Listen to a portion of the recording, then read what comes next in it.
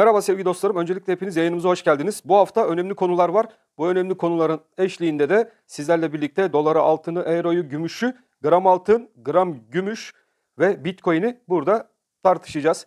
Yorumlar yapmaya çalışacağız. Teknik analiz üzerinde gitmesi muhtemel olan rakamları ve fiyatları sizlerle birlikte burada bulmaya çalışacağız sevgili dostlarım. Evet bu hafta çok hareketliydi. ABD bankalarındaki iflaslarla birlikte başlayan altın tarafındaki hareketlilik ve FED faiz kararını 0.25 bas puan sabit bırakmasının ardından da arkadaşlar altında FED faizleri arttırdı. Fakat neden altın ve gümüş fiyatları yükseliyorun cevaplarını hep birlikte bulmaya ve araştırmaya çalışacağız sevgili dostlarım. Bitcoin tarafında da hareketlenmeler var. Bitcoin'deki kritik rakamı da sizlerle birlikte burada paylaşacağız. Euro, sterlin tarafında neden yukarı yönlü yükselişler gerçekleşti? Hep birlikte burada teknik analiz yöntemini kullanaraktan bulmaya çalışacağız. Ayrıca dolar tarafında hareketlenmeler başladı. Dolarda da takip ettiğimiz önemli kritik seviyemiz var ve bu kritik seviyeleri burada sizlerle birlikte paylaşmaya çalışacağım. Öncelikle bir ön konuşma yapacağız. Bu ön temel analizin ardından da teknik analiz kısmına hep birlikte sizlerle birlikte geçeceğiz sevgili dostlarım. Evet videomuza geçmeden önce kanalımıza her zaman olduğu gibi bir beğeni atarsanız ve sürekli beğenilerini eksik etmeyen arkadaşlarımın hepsine de çok teşekkür ederim. Şu an yayınımızı dışarıdan seyreden, kanalımıza abone olmadan seyreden tüm de sevgili dostlarımızı da kanalımıza abone olmaya davet ediyoruz sevgili dostlarım. Evet hemen gram altın tarafına geçelim. Gram altınla birlikte de arkadaşlar temel analizimizi burada yapmaya çalışalım. Evet Fed'in yapmış olduğu 0.25 bas puanlık e, faiz artışına rağmen altın tarafı neden yükseldi? Evet altın tarafı sevgili dostlarım Yellen'in yapmış olduğu açıklamalar doğrultusunda yukarı yönlü hareketine devam etti.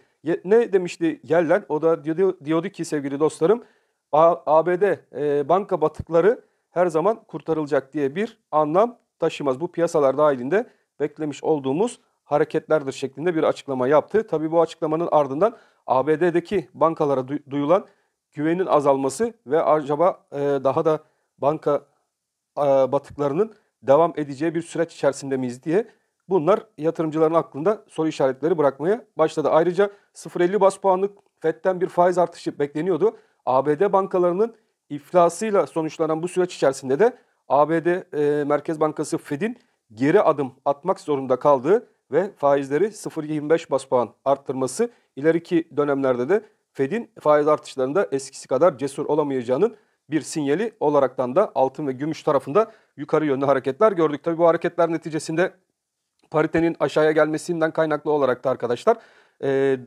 Euro ve sterlin tarafında da yukarı yönlü hareketleri izledik. Bunlar zaten beklentimiz dahilindeydi e, bizler Fed'in özellikle 0.25 bas puan ve faizleri sabit bırakması durumunda altın, euro, sterlin tarafında hareketlenmelerin yukarı yönlü olabileceğini tahmin etmiştik ve bu tahminlerimiz doğrultusunda da gerçekten yukarı yönlü hareketler gündeme gelmiş oldu. Bir başka gene gündem konusu da emeklilere yapılacak zamla ilgili oldu. Emeklilere yapılacak zam kısmına da biraz değinelim arkadaşlar.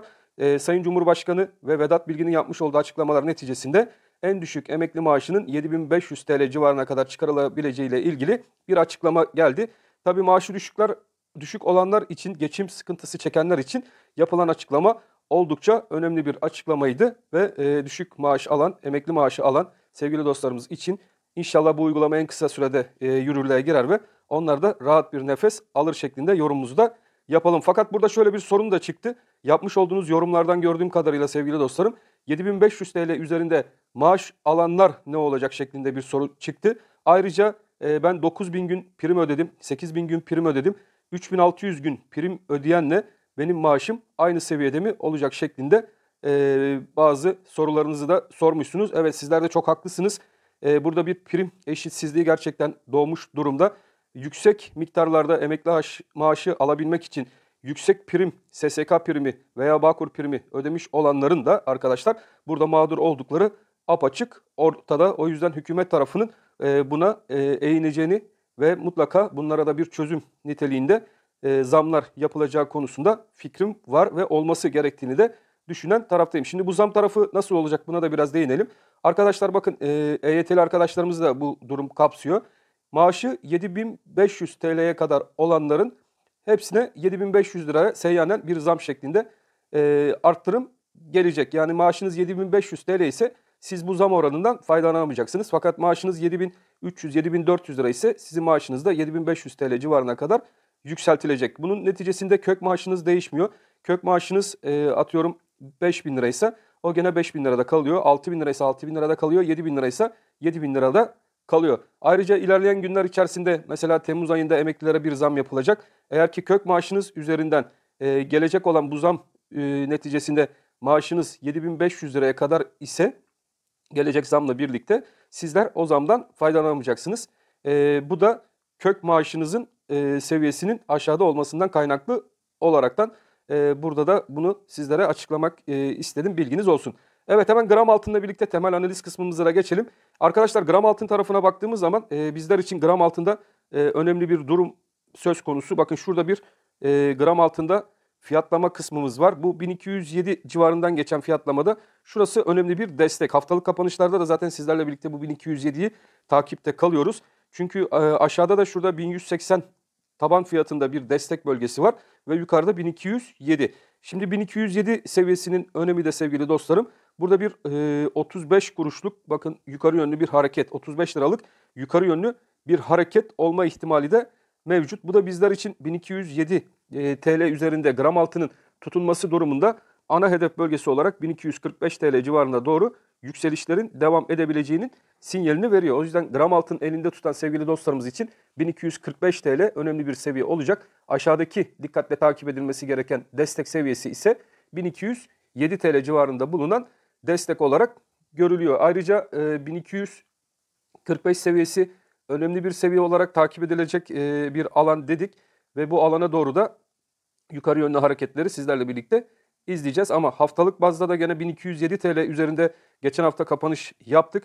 Bu hafta da 1207 TL üzerinde gram altında kapanışı görebilir isek işte o zaman e, 1245 TL gram altında hala da bir ana hedef olarak takip edilecek bölge ve buradaki formasyon da zaten bize 1245 seviyesine doğru gram altının gidebileceği ile ilgili sinyali veriyor. 1207 dediğim gibi önemli. Bunun altında e, kapanışlar olmadığı sürece yukarı yönlü hareket beklentimiz hala da geçerliliğini korumaya devam edecek. Dolar Türk Lirası tarafına baktığımız zaman hareketlilik özellikle yukarı yönlü ve aşağı yönlü mum hareketleriyle devam ediyor. Burada en önemli seviye bizler için de sizler için de takip ettiğimiz en önemli seviye dolar kurunda 18.80 idi. Bu grafik üzerinde hala bir değişimimiz yok. 18.80 desteği üzerinde kaldıkça dolar kuvvetlidir ve bu kuvvetlenme neticesinde 19 lira 50 kuruş seviyesine doğru bizler hala da buradaki ana hedef bölgesine doğru gidecek bir dolar Türk lirası ana hedefimiz var. Kısada yani. Kısada bu 19 lira 50 kuruş civarına doğru dolarda hala da yukarı yönlü beklentimiz devam etmekte. Seçim politikalarının yaşandığı bu günlerde para musluklarının açılmış olması e, dolar kurunun ilerleyen günlerde 21 liralar seviyesine doğru da hareketlerini sürdürebileceği e, tarafımca düşünülmekte arkadaşlar. Aşağı yönlü burada mum hareketleri izledik fakat gördüğünüz gibi hiçbir kalıcılık sağlayamayan bir mum hareketleri hatta 18.55 civarına kadar bu hareket aşağı yönlü oldu. Fakat gene de yukarı yönlü hareket engellenemedi maalesef ki dolar kurunda yukarı yönlü yön hala da grafik ve teknik analiz olarak baktığımız zaman da yukarı yönlü devam etmekte. Cari açık tarafına baktığımız zaman herhangi bir düzelme olmadı. Merkez Bankası rezervleri tarafına baktığımız zaman da arkadaşlar Merkez Bankası rezervlerinde 9 milyar liralık bir e, azalış söz konusu. Bu azalış da e, öngörü şeklinde tabii kesin bir bilgimiz yok fakat kurları baskılamak tarafında kullanıldığı yönündeki düşüncemiz de sabit. O yüzden dolar kurunu takip eden arkadaşlarımız için de hala da yön yukarı diyebiliyoruz. Ons altın tarafına baktığımız zaman ons altındaki hareketlerin de formasyonumuz neticesinde hala düzenli bir şekilde yukarı yönlü hareketinin e, devam ettiğini görüyoruz arkadaşlar. 4 saatlik grafikte gene baktığımızda orada da küçük bir çanak oluşumu ve bu çanak doğrultusunda da e, ons altın tarafında bizler için 1936 seviyesi önemli bir destek konumuna gelmiş durumda. Bakın şuradaki yuvarlak için aldığım bölgeyi takip ederseniz 1936.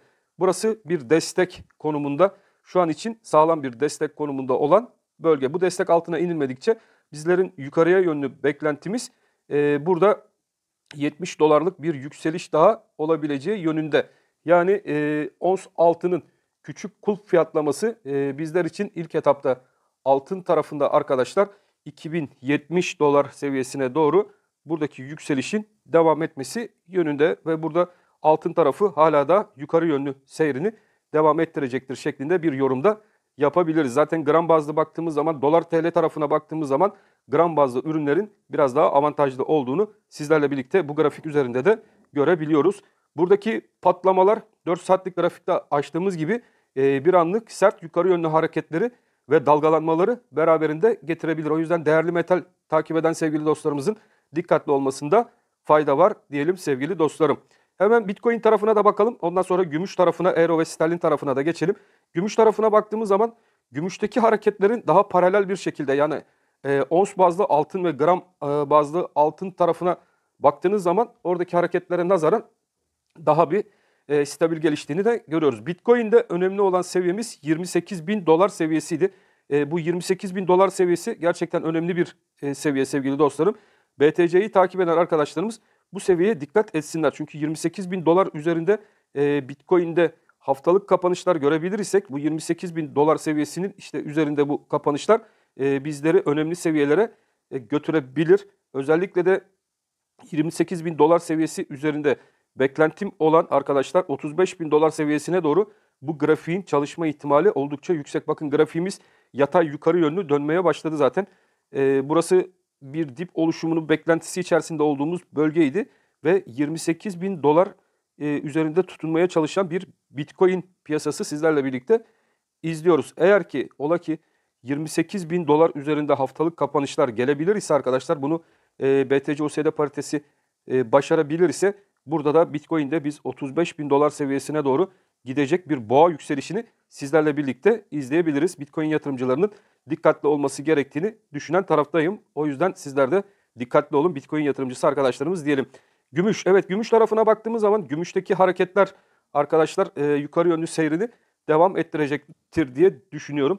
Bitcoin'de ilk etapta ana hedef bölgem 20 şey Bitcoin dedim gümüş tarafında ilk etapta ana hedef bölgem 25 dolar seviyesine doğru bu gümüşün onsunun hareketlerinin devam edeceği yönünde. E, 25 dolar önemli bir seviye olacak. 25 dolar çünkü e, yukarı yönlü kırılırsa gümüş tarafında da yukarı yönlü hareketlerin izlenebileceği e, bir dönem içerisine girebiliriz. Çünkü bakın burada da bir oluşum artık 4 saatlik grafiklere e, yansımış durumda ve bu oluşumla birlikte bir anda e, buradaki hareket yukarı yönlü kırılır ise bakın 25 doları yukarı yönlü kırabilir ise gümüşte özellikle sevgili dostlarım bir anda 30 dolarlar seviyesine doğru gidecek bir hareketin başlama ihtimali de grafik üzerinde yavaş yavaş görülmeye başlandı. Sizler de o yüzden e, dikkatli olun. Gümüş yatırımcılarının da dikkatli olması gerektiğini düşündüğüm bir hafta içerisindeyiz. Gümüş gram, gümüş TL tarafına baktığınız zaman da 14 lira 10 kuruş seviyesi üzerindeki e, direnç önemli. E, bu direnç üzerinde kalıcılık olabilecek mi? Burada bir kalıcılık sağlanması durumunda ise arkadaşlar bizler 14 lira 80 kuruş civarına doğru gümüş gramda da hareketleri yukarı yönlü izleyeceğiz. Buradaki 16 liralar seviyesinde beklentim vardı. 14.80, 15.35 burada kademeli bir şekilde yukarı yönlü gram gümüşlü hareketleri izleyeceğiz. Ve oradan 16 lira 26 kuruş seviyesine doğru da e, bu hareketin e, devam edeceği beklentim hala da devam ediyor. Ama sizlerle birlikte haftalıkta bir direncimiz var. O da 16 liralar seviyesinden geçen bir direnç. Bu direncin kırılabilmesi için 14 lira 80 14 lira 28 kuruş seviyesi üzerinde kalmak önemli olacak. Bunu mutlaka takip edeceğiz. Önümüzde aylık kapanışları bekliyoruz. E, aylık kapanışlarda da gene 14 lira 28 kuruş seviyesi üzerinde kalmayı başarırsak gümüşün gram tarafında ana hedef bölgemiz 16 liralara doğru yükselişin devam edeceği beklentimizde e, geçerliliğini koruyor sevgili dostlarım. Euro Türk Lirası tarafına hemen geçelim. Euro Türk Lirası'ndaki beklentimiz 21 liralar seviyesine doğru bu hareketin devam edeceği yönündeydi. Şu an için e, düzeltmeler yaşansa da 20.90 seviyesine kadar bu 21 liralık hedefimiz vardı. Gerçekleşmiş oldu ve buradan şimdi e, bir düzeltme süreci içerisinde e, sizlerle birlikte Euro Türk Lirası izliyoruz sevgili dostlarım. Burada 20.04 seviyesi üzerinde Euro'daki hareketler kaldığı sürece aşağı yönlü düzeltmeler birer e, yatırımcılar tarafından alım fırsatı olacaktır diye düşünen taraftayım. 20.04 artık kalıcılı e, bir süreç haline gelmiş durumda Euro e, takip eden sevgili dostlarımız için. Ve bunun altında kalınmadıkça yukarıda 21 liralar civarına doğru Euro'daki bu yükselişin devam etme ihtimali de oldukça yüksek. 21.16'da kuvvetli bir direnç bölgesi var. Haftalıkta 21 lira 16 kuruş seviyesi üzerinde kapanış yapmayı başarabilirse de Euro'da arkadaşlar o zaman e, yukarı yönlü bizler 22.80 24.40 civarlarına doğru Euro'daki yükseliş hareketlerini de takip edebileceğiz. Sterlin Türk Lirası'na baktığımız zaman da sterlindeki hareketlerin bizler için ana hedef bölgemiz 23 lira 60 kuruş seviyesiydi ve buraya doğru hareketin gerçekleştikten sonra bir düzeltme seviyesi içerisine girdiğini de görüyoruz. Evet 23.60 önemli bir seviyeydi. Burada şu an itibariyle bir kalıcılık sağlanmış değil ama ilerleyen günler içerisinde e, burayı ikinci deneyişi de yukarı yönlü kıracaktır diye ben düşünüyorum. Ve ilerleyen günlerde artık yeni hedef bölgesi 23.60 değil. Sterlinde de 24 lira 62 kuruş civarına doğru yukarı yönlü hareketler beklentimiz dahilinde olacak. Burada kuvvetli bir destek bölgesi olarak takip edeceğiniz alan 23 lira 15 kuruş seviyesinden geçen alan olacak. İki önemli destek 22.85 ve biri de 23.15 destekleri sterlin takip eden sevgili dostlarımız için önemli takip edilebilir. Evet kısaca sizlerle birlikte piyasalara baktık. Bir değerlendirme yapmaya çalıştık. Ben hepinizi çok seviyorum. Hepiniz Allah'a emanet olun. Hoşçakalın sevgili dostlarım.